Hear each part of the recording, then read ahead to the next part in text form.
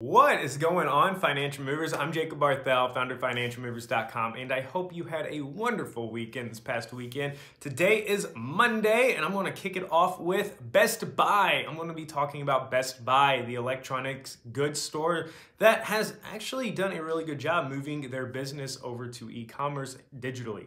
So, Best Buy. On November 24th, the company reported a strong earnings report, beat EPS by over 20 cents, and also beat on revenue. Now, what's interesting is that Best Buy was trading at near all time highs at $124 before reporting earnings. And then after reporting earnings, the stock sold off about 20%, all the way down to $99, and is now trading at $101. So, is this a buy on dip opportunity? Well, according to Goldman Sachs, no. So just last week on December 10th, Goldman Sachs released a statement, one of the analysts, saying that Best Buy still has room to drop going into 2021. So I want to know, is Best Buy actually going to keep it dropping? Should investors stay away from it? Or is this a buy on dip opportunity? Why didn't Goldman Sachs tell us this before the stock dropped 20%? That's really my biggest question here. So instead of leaving it up to Goldman Sachs analyst, I'm going to go analyze uh, Best Buy's fundamentals and their technical charts myself and see what I come up with. So let's go.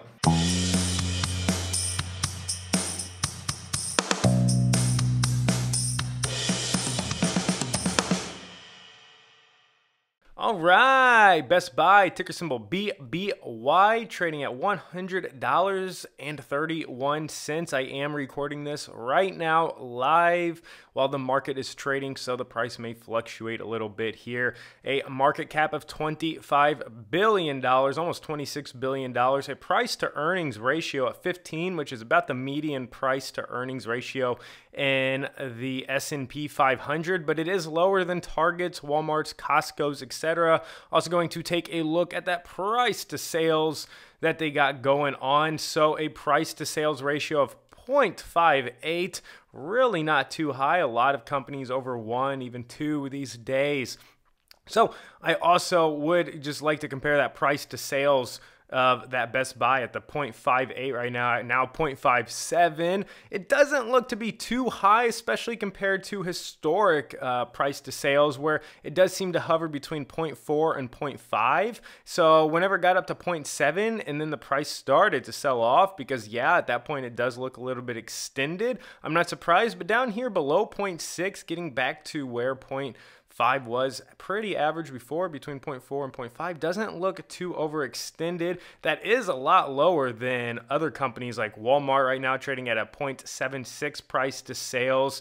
Uh, also, Target at over, just was over 1. Now it's at a 0.97. So 0.57, 0.58 on Best Buy doesn't look too high. Now, before I go on ahead and get into the fundamental analysis and technical analysis of Best Buy, I'm going to ask you to hit that thumbs up button, hit that uh, subscribe button, hit that notification button so you never miss out on another analysis from me. Also, be sure to find me on Instagram at Financial Movers where I'm constantly posting quotes, financial information, investment information, etc. Also, be sure to find me on Twitter at Financial movers. I don't always have time to make a video for everything I'm buying, trading, investing, etc. So I do give descriptions with uh, pictures of charts and what I'm seeing. Got into Amazon the other day at 3100, now at 3173. Okay, and lastly, be sure to sign up at webull.com for zero commission free trading, no deposit minimums, zero dollar commission free trading on stocks, options, ETFs, and cryptos.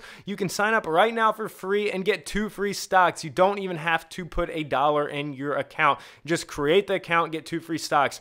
If you do deposit a minimum of $100, you get two more free stocks. So that is a total of four free stocks. Find the link in the description box below. It is my affiliate link, so please use it because if you get your free stocks, then I get some free stocks as well because you signed up using my link. So please support me and get your free stocks. We can all be happy. So getting into Best Buy's fundamental reports, their latest earning, earning reports from November 24th, 2020. We got a lot lot to cover, so let's get to it. So Best Buy reported non-GAAP EPS of $2.06, which beat by 34 cents. They also reported revenues of $11.85 billion, a 21.4% year over year increase, beat by almost a billion dollars, beat by $880 million.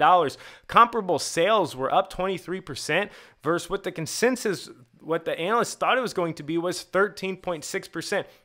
Now, the stock did sell off from right before the earnings at about 124 going down to as low as now $100.28 going actually went down to about $99 and i think a lot of it had to do with what the CFO Matt Bilunas said. He said while the demand for the products and services we sell remains at elevated levels and we start the fourth quarter it is very difficult for us to predict how sustainable these trends will be due to the significant uncertainty related to the various impacts of the pandemic. Okay so he continued and said thus similar to the last two quarters we are not providing financial guidance guidance today. People want guidance, okay? Investors want guidance. And I believe because he said that, three weeks later, just last week on December 10th, Goldman Sachs went on ahead and said, rough road ahead in 2021 for Best Buy. And they said Best Buy is one of the best run retailers in the US and continues to evolve its omni channel. But they don't believe that they will be able to give strong sales next year like they did this past year. And they said its lack of gross margin flow through 2020 and valuation is basically the reasoning why. Okay, well, I don't believe that just this past year was a good year for Best Buy and that their reasoning is really that valid because looking at revenues going back of Best Buy over the past couple of years, uh, in 2017, they reported $39 billion in revenue. 2018, $42 billion. 2019, $42 billion. And this year, 43 billion. So this company has had a quite a long record of reporting uh, in the billions of over $40 billion in revenues for a while. And it's actually increased just over the past, uh, since 2017 all the way to now. Their revenues have been increasing, okay? That's also seen in their net income from 2018 onwards, their net income was going up. Even uh, 2016, they're reporting 897 million in net income. 2017, over a billion. And from 2017 onward, they reported over a billion dollars in net income. And since 2018 onward, their net income has been increasing. So I don't believe this year has just been kind of like a random year for them to make money. They've actually been increasing revenues and net income for the past couple of years now. So.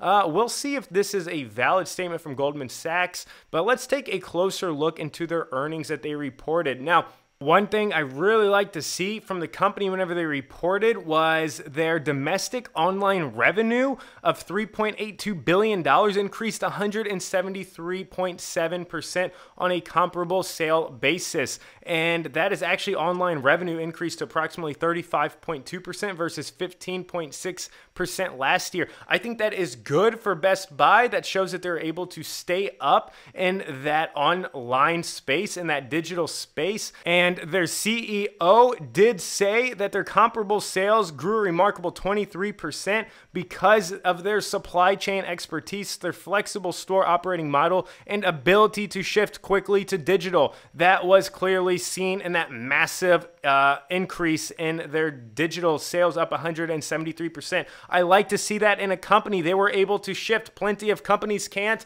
especially with competitors like Amazon. Okay, just because of the current environment in my opinion, uh, of of the the the lockdowns and everything. Amazon's still a huge competitor. Walmart's still a big competitor. Target also. Now, Best Buy still grew. Their largest competitors are also online. They still grew. So, anyways, let's just uh, keep seeing if Goldman Sachs' statement really holds up. So, revenues. The revenues were up from this time last year, $9.7 billion that they reported this time last year, up to $11.8 billion in the most recent report here. Cost of sales did go up a little bit from 7.4 billion to 9 billion, and that did uh, in, uh, decrease that gross profit from 24.2% down to 23.6%, so about 0.8 percent there or uh, 0.6 percent there that the that that the gross profit got cut by but their operating income still increased from 395 million to 561 million. So yeah the gross profit did get cut by 0.6 of a percent but I do like that the operating income still increased by 0.7 of a percent. And that was also seen in that 9 months ended going from 3.7 percent this time last year operating income to 4. 0.5%. So really still good. The net earnings at 29 or $293 million, then going up to $391 million. So looking strong there on the nine months ended, going from 79, 796 million to 982. And obviously with that operating income going up, their earnings per share did go up from $1.11 to $1.50 as well. So the revenues increased pretty good there. This wasn't a this isn't a huge high margin business with operating income of only 561 million of a total uh, gross profit of 2.79 billion. But you know they're still coming out ahead, increasing those revenues like we had seen earlier uh, compared to 2017 onward. So moving down on the balance sheet here, they were able to increase that cash and cash equivalents on a major scale, going from 1.2 billion to 5.1 billion dollars, increasing those total current assets from 10 billion, 10.1 billion to 14.5 billion. So did a really good job there on that, getting those total assets up from 16.9 billion to 21.2 billion on total assets.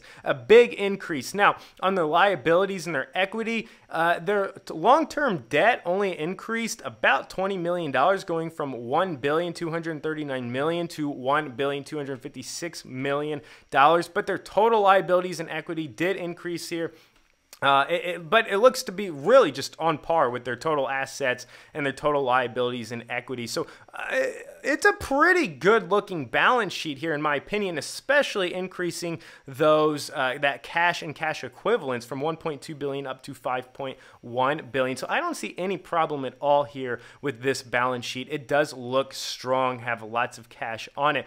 Now, their revenue category is interesting to look at. So on their comparable sales, yes, that was seen to be a, a, major difference here with a lot of consumer electronics being up compared to this time last year, and also appliances and the entertainment was also very big.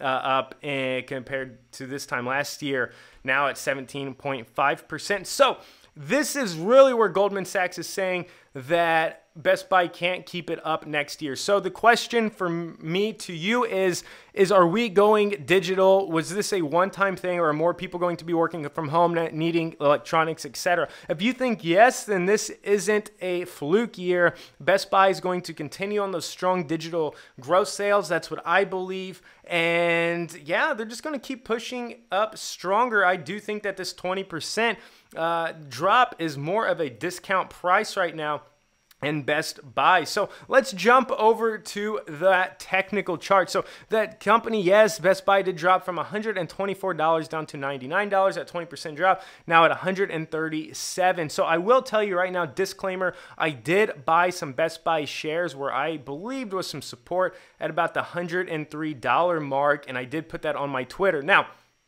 that looks like it might be holding, but I am going to put up a 20 day moving average, a 50 day moving average, a 100 day moving average, and a 200 day moving average as well. I like that the stock was able to hold above this 200 day moving average that I've seen so far. If it does fall through it, this stock did gap up back on 21st of July from uh, about 90 $89, $90 up to $96, about that $95 mark. So if the stock does fall through this 200 day moving average, I do believe that this $95 mark could be a good mark to pick it up. And I will tell you, as I already said, I did buy some shares here at 103. So I believe 95 would be another good level to get it at. But we'll see if this 200 day moving average holds. And if it does, then I, I believe that's a good spot as well to maybe even pick up some more shares.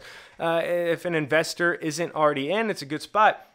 Now, if it falls through the 95, then I believe 90 will definitely be a place that this stock will hold, especially going back to the December of this time last year, about the $90 mark was resistance level before the stock sold off in February and in March, where many stocks did, and then it moved higher and then gapped up over that 90 and started going on to make all-time highs. Now, on a weekly chart, I would also like to point out that this stock is trading very near to its 50 day moving average. And I believe it will be picked up on a weekly chart on that 50 day moving average, which does correlate on that $95 mark right where the stock gapped up back in February or uh, back in July. So, in my opinion, Best Buy is a great buy on dip opportunity. I'm already in at 103. Their financials look strong. Everything looks good to me. In my opinion, maybe you don't think so after we went over this, but I really like this Best Buy. So, yeah, that's what I got for you today, financial movers. If you got anything out of this video, be sure to hit that thumbs up button, hit that subscribe button, hit that notification button. And if you didn't, then be sure to still go over to Webull. The description or the uh, link is in the description box below and get your free stocks. All right, good luck out there, financial movers, and see you next video.